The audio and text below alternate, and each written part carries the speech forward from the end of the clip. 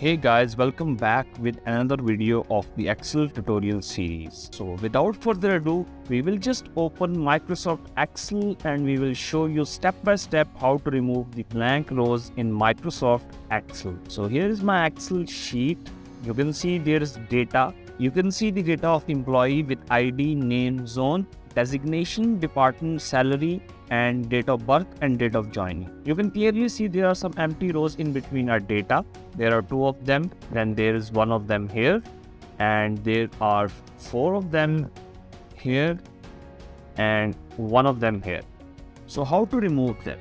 The first method is that you can just simply select the rows and just right click on it and delete them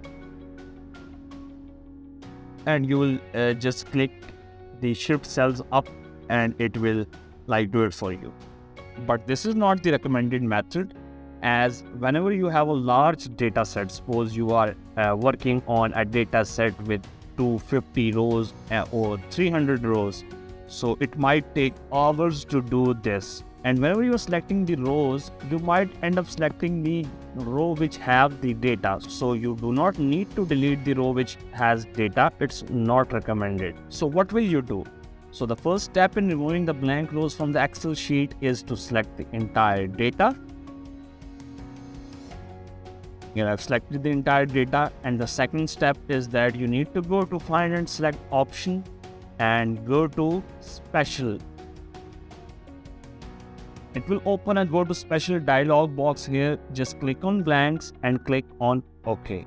So you can see it highlighted all the blank rows or cells in our data, in our selected data.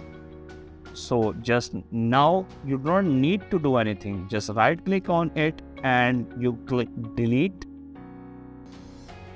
and shift cells up.